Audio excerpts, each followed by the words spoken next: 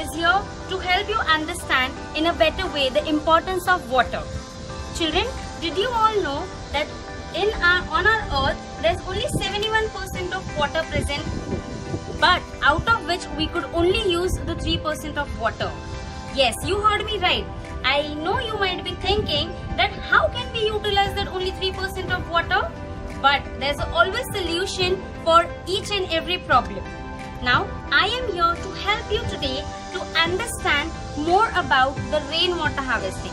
Yes, you heard me right. Rain is the main source of water and we are going to utilize it in a very good way. Now, before we could move ahead, you all can see that I have the solar panel behind me. We are going to talk about this in detail in an upcoming video. Okay. So students, you might be thinking that what is this rainwater harvesting? Don't you worry, I am here to help you understand what is rainwater harvesting. We here at TRPS, our school, will do the rainwater harvesting in a much better way. We, rainwater harvesting is nothing but collecting of water. The rain is the main source of water, we all know that, which we gather here on the terrace. And then once the water is collected here on the terrace, it is transferred to the tanks which are there down below the ground.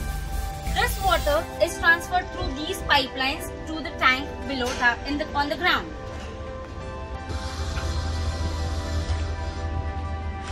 We just saw that on terrace the rainwater gets collected and then that rainwater is redirected through the pipelines. This is that pipeline which redirects the water directly under the ground. Water is then collected into this tank which is almost about 15 to 20, 20 feet deep.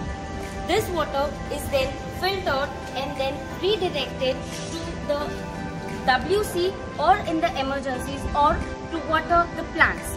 So this is how we reuse the rainwater here in our school TRPS. I hope kids you are also going to follow these things and you are going to make the best use of rainwater harvesting. Thank you so much.